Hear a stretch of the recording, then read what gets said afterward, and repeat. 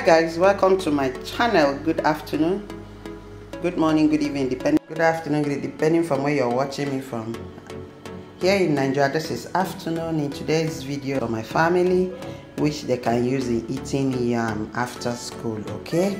So i want to carry you along and show you how i prepared my these are my onions pepper bell red bell pepper feed chicken seasoning cube this is my palm oil and salt. So let's start cooking. Let's dive in. Please if you're new here this is Edima's tv here. We do beautiful content. Please don't make it your last. Keep being part of this family. To all my old and new subscribers and returning god bless you for all your support. Let's do this thing right now. First thing i'm adding is this my pepper mix pepper tatashe and every other pepper okay this is my red bell pepper and bonga fish. I don't know what it's called in English, okay?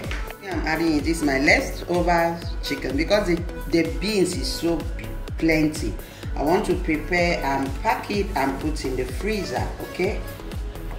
Now add my seasoning cube, okay? My salt, sliced onions, so plenty of onions. add my banga oil. It's going to cook for 30 minutes, okay? Guys, I'm back. I want to turn it.